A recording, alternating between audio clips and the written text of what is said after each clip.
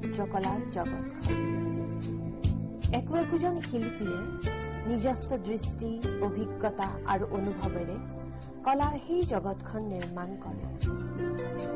আমাৰ চৌপাশৰ চাক্ষুষ পৃথিৱীখনক তেওঁলোকে শিল্পৰ ভাষাৰে প্ৰদান কৰে অন্য এক ৰূপ।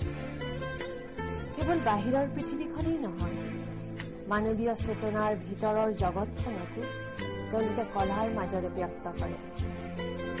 জীৱন আৰু জগতৰ এই বাস্তৱক কলাৰ বাস্তৱ অৰ্থাৎ ৰিয়েলিটিক ক্ৰিয়েটিভ ৰিয়েলিটিলৈ ৰূপান্তৰিত কৰাৰ এই প্ৰক্ৰিয়া অতিকে কৌতূহল উদ্দীপক আকৰ্ষণীয় আৰু প্ৰায়ে বহুতৰ বাবে দুৰ্বোধ্য আমি সেই জগতখনলৈকে সোমোৱাৰ কিছু প্ৰয়াস কৰিম আৰু আমাৰ সেই প্ৰয়াসক সহায় কৰিব একো একোজন শিল্পী। তেনে এগৰাকী শিল্পীয়ে হৈছে শ্যামলী চলিহা। শ্যামলী আমাৰ অনুষ্ঠানলৈ তোমাক স্বাগতম জনাইছো। আমি প্ৰথমে আৰম্ভ কৰো তোমাৰ ছবিৰ জগতৰ বিষয়ে। কেতিয়া আৰম্ভ কৰিছিলা তাৰমানে এই পৃথিৱীখনলৈ ষ্টেপটো মই একাডেমিক এডুকেশ্যন লৈছোঁ মই গভৰ্ণমেণ্ট কলেজ অফ আৰ্ট গুৱাহাটীৰ পৰা। কিন্তু মই ছবি মই সৰুৰ পৰাই ভাল পাইছিলোঁ ছবি আঁকিবলৈ। একদম মানে যেতিয়া মই জনা নাছিলোঁ যে আচলতে মই কি কৰি আছোঁ ছবি আঁকি আছোঁ নে কি কৰি আছোঁ তেতিয়াৰ পৰাই মই ছবি ভাল পাওঁ। মাহঁতে কোৱা মতে আৰু সৰুতে মোক ফুচলাবৰ কাৰণে কিবা এটা আঁকিবলৈ দিয়ে বা এনেকৈ মৰ্কছত কেতিয়াবা দি দিয়ে মানে নিজৰ মনৰ পৰা আকৌ নহ'লে মায়ে কিবা এটা অবজেক্ট দি দিয়ে। যিটো আমি অবজেক্ট ষ্টাডি বুলি কওঁ তেনেকুৱা ধৰণৰ মই যিকোনো আঁকি থাকোঁ তেতিয়া মোৰ মনটো ভাল লাগি থাকে। আঁকি থবলৈ পাওঁ তেতিয়া তাৰপিছত লাহে লাহে এখন দুখন কম্পিটিশ্যনবিলাকত প্ৰাইজ পোৱা হ'লোঁ তেতিয়া আৰু এনকাৰেজমেণ্ট পালোঁ। তাৰপিছত মই ঘৰতে নিজে নিজে তাৰমানে যি বুজি পাওঁ আৰু মই প্ৰেক্টিছ কৰি থাকোঁ। তাৰপিছত হায়াৰ ছেকেণ্ডেৰী পাছ কৰাৰ পিছত মই ইয়াত গভৰ্ণমেণ্ট কলেজ অফ আৰ্টত এডমিশ্যন ল'লোঁ।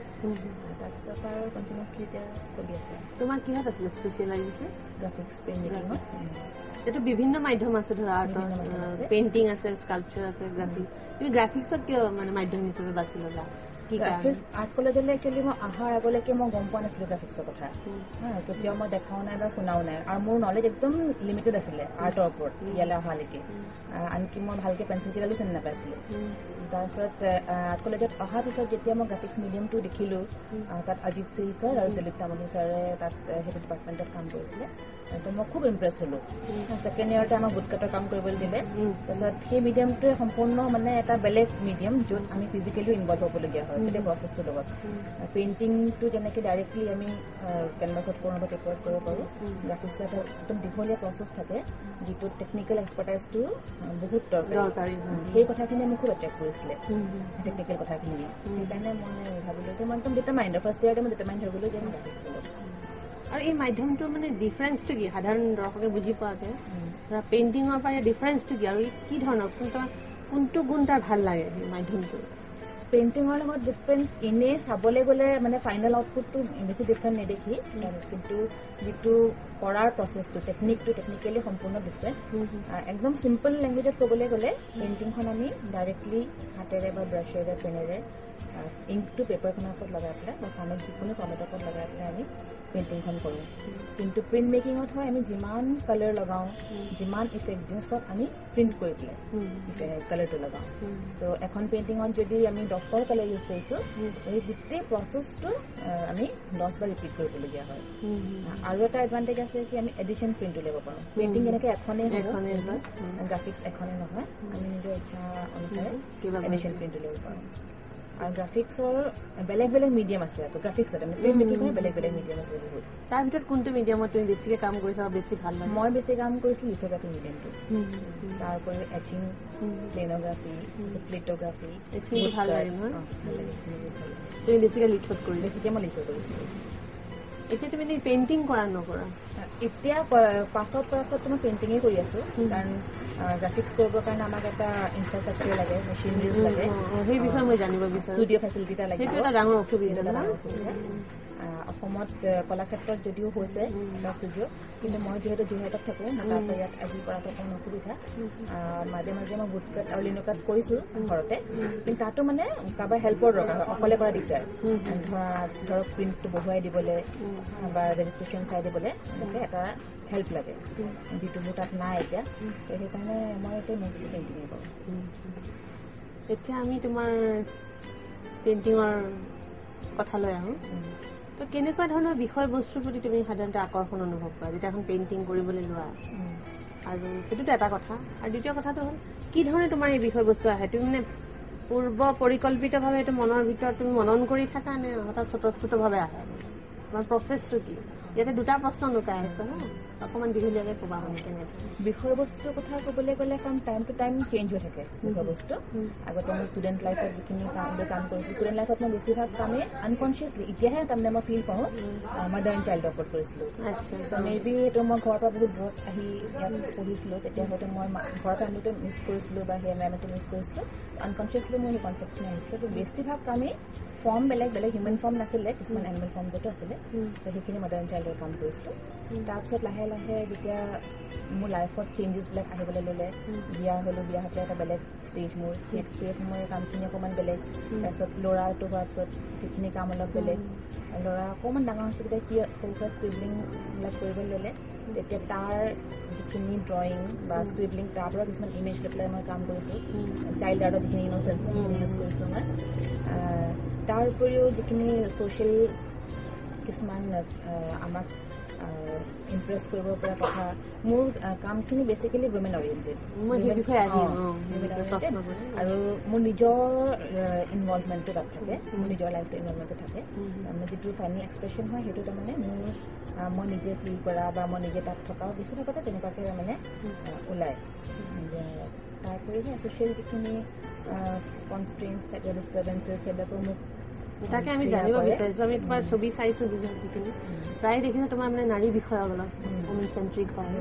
বিভিন্ন ধৰণৰ দিশ এতিয়া এইটো বিষয়ে জানিবলৈ বিচাৰিছো যে তুমি যেতিয়া নাৰী বিষয়ক বস্তু লৈছা সেইটো তুমি নাৰী শিল্পী হোৱাৰ বাবে লৈছা নে তুমি নাৰীবাদৰ দ্বাৰা আকৃষ্ট নে কেনেধৰণে তোমাৰ এই বিষয়টো তুমি ডিল কৰিছা নাৰী শিল্পী হোৱাৰ বাবে হয়তো আনকনচিয়াছলি সেইটোৱেই হয়তো সঁচা যে মই নাৰী শিল্পীৰ কাৰণে মই যেনেকৈ চাওঁ বা মই যিখিনি কথা ফিল কৰিছোঁ হয়তো এজন মেল কিছুমান কথা তেনেকুৱাকৈ তাৰমানে ফিল কৰিবলগীয়া নহয় বা তেনেকুৱা দৃষ্টিৰে তেওঁক চোৱা নহয়। তেনেকুৱা কিছুমান কথা হ'ব পাৰে।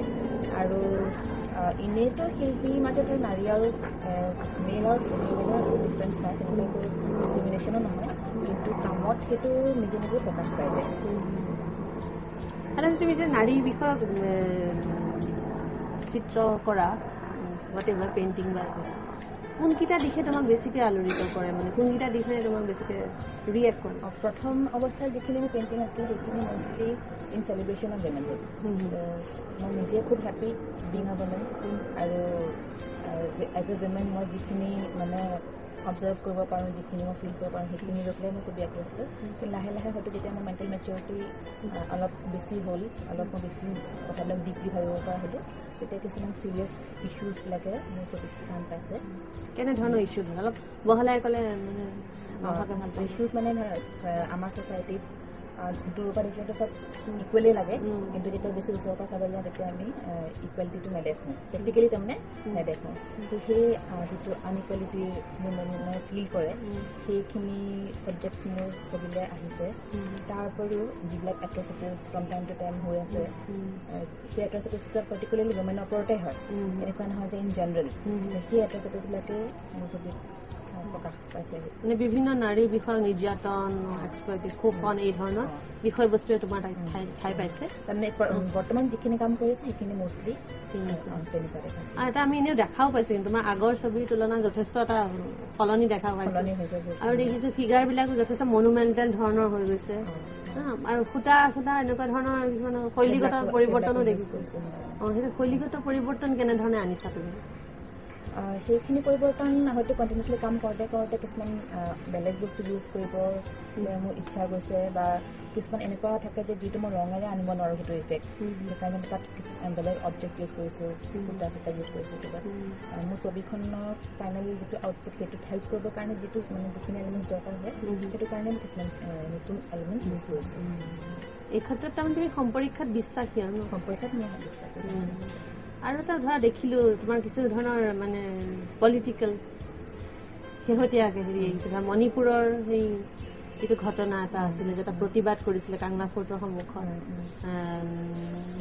এই মহিলাসকলে।